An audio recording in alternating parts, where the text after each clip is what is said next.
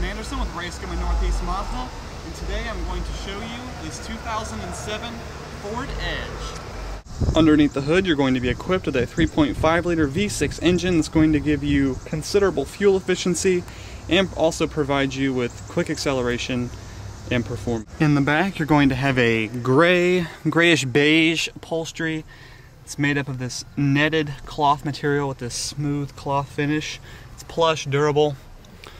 Once we unbuckle this, we'll bring down the middle and you'll have an armrest with two cup holders as well.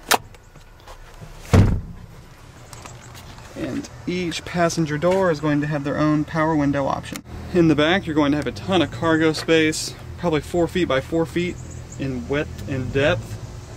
And you'll have even more if you want to haul stuff. You can take that second row down and haul small furniture, lumber, anything of that kind of size.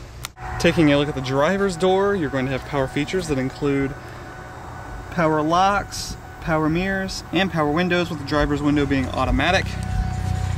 And looking at the driver's seat, you're going to have levers for a manual, and you'll be able to tilt the seat, raise and lower it.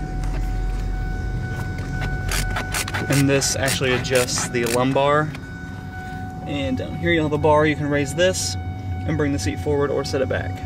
On the steering wheel, you're going to have controls for the stereo and cruise control.